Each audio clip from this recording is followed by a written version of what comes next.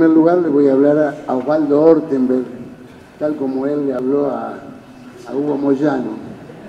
en una especie de oración, en una especie de oración laica, invocando su conciencia para que vuelva al regazo, la llame a Cristina, etc. Yo pienso que Hugo Moyano está eh, en el lugar que eligió estar y tal vez está en el lugar en que debe estar. Eh, Hugo Moyano eh, construyó, terminó construyendo, digamos, nadie es el mismo en el momento que, ni siquiera Pedraza, que alguna vez fue un muchacho del Partido Comunista, después un muchacho de la lucha peronista de los 70, que yo, terminó siendo lo que también Hugo Moyano. Lo cierto es que Hugo Moyano terminó siendo un gran sindicalista empresario, un presidente de club de fútbol que soluciona crisis eh, endémicas de un club famoso de la Argentina, terminó alineado con Macri, terminó homenajeando al monumento de Perón con Macri, terminó siendo eh, servir a esa política que está recolonizando eh, el país. En la cuestión estructural, dirige un sindicato que efectivamente le va muy bien, y le va muy bien porque se hizo a costa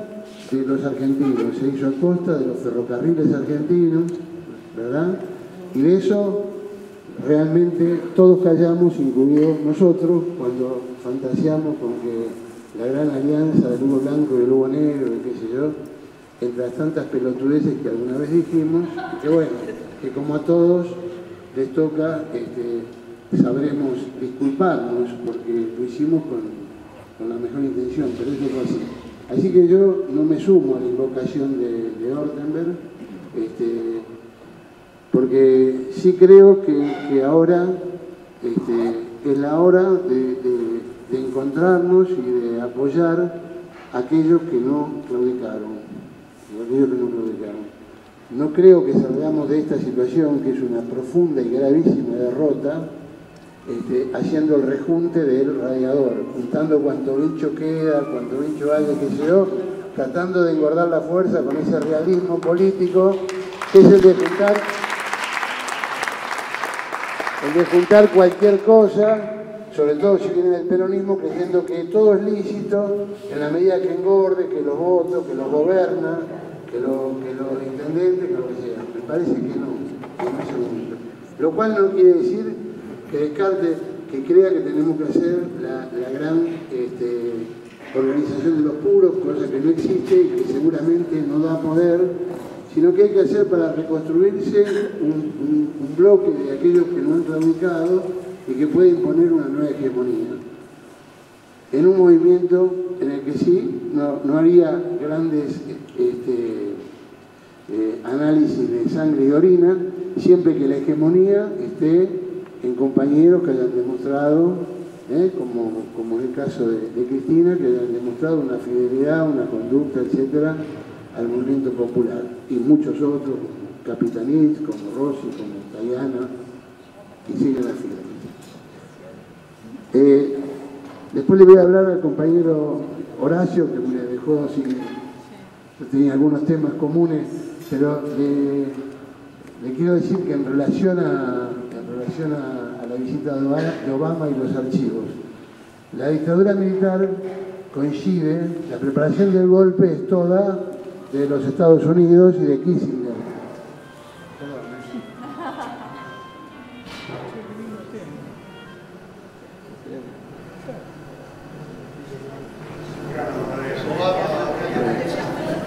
Sí.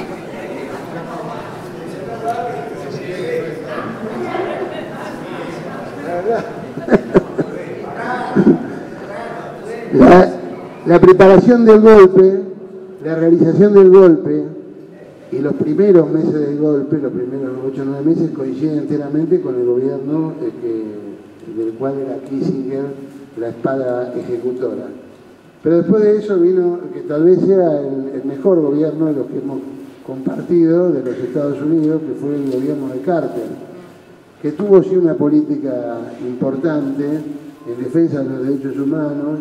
eh, que la tuvo en Argentina, que hizo incluso acciones arriesgadas de sus de sus funcionarios y que efectivamente o probablemente eh, tengan una cantidad de información que por supuesto era la embajada norteamericana y la CIA era la CIA y el FBI era la CIA, es decir, no es que dejaban de serlo por estar eh, Jimmy Carter, y entonces puede ser que la tengan. Entonces uno se pregunta, ¿y por qué ahora puede ser que traigan eso? Y puede ser porque yo creo que, que para las derechas globales, los grandes centuriones de los 70 les importan un verdadero carajo. Eh, en la medida, a ellos les importa la realización hoy del programa, de programa de derecha, y si para eso tienen que, fusilar un par de viejos generales, genocidas, etc., no les importa un carajo. Es decir, la nación, el editorial de la nación, no refleja el pensamiento de estos tipos, porque hace rato que esto se lo pasan por,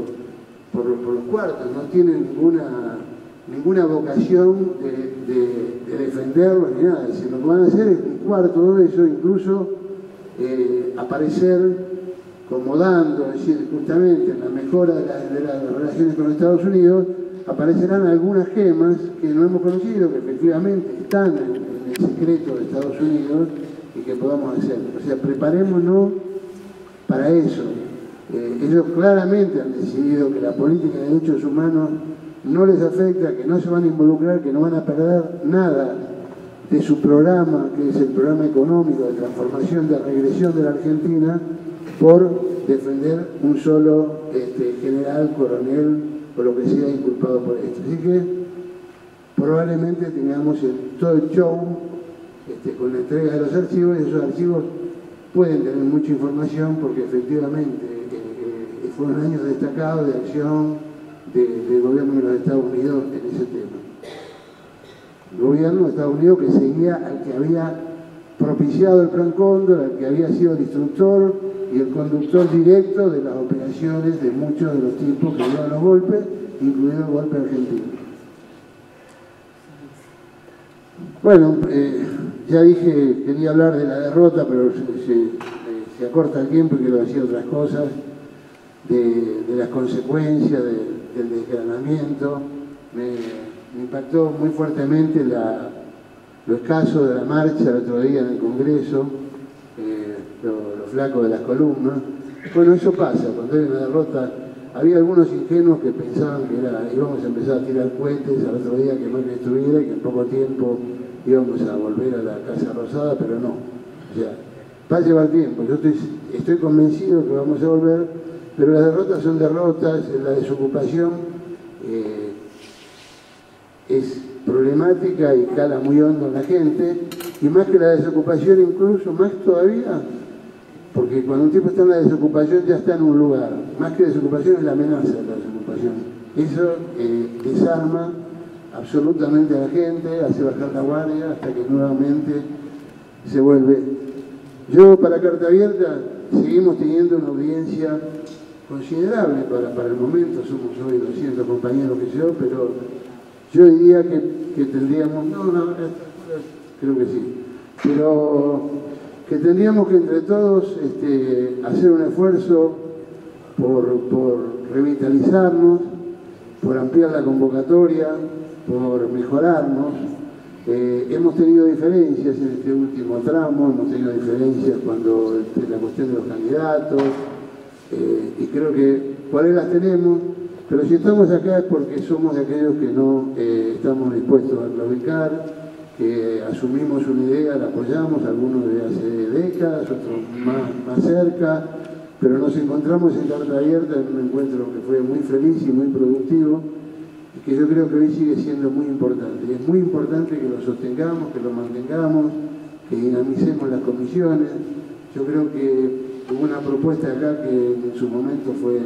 ridiculizada, que fue la propuesta de la Youth, la cual hace tiempo, desde aquella vez no lo vi volver más a la Asamblea, que era la de hacer comisiones que tomaran temas y que pudieran ir siguiendo los temas, las falacias, las mentiras del macrismo en cada una de las áreas. Me parece que hay compañeros que, tienen una experiencia en diversas áreas y que eso lo podríamos ir reconstituyendo y eso va a alimentar este, la, vitalidad de, esto que llamamos carta abierta.